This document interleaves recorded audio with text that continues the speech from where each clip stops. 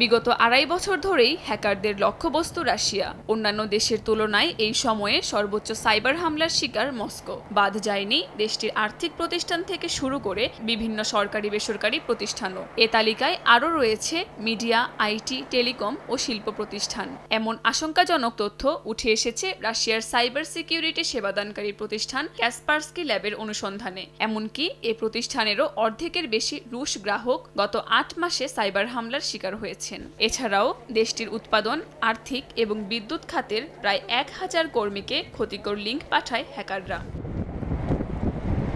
হ্যাকাররা সাধারণত উন্মুক্ত তথ্য অথবা অ্যাপ্লিকেশনের দুর্বলতা ব্যবহার করে এ ধরনের হামলা করে থাকে বলে জানিয়েছেন সাইবার প্রতিষ্ঠানটির প্রধান।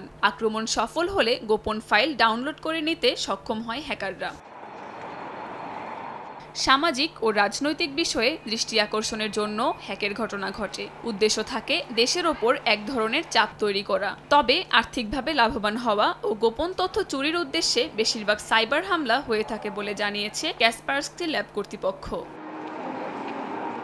কাকুলি আখতার, সময় সংবাদ।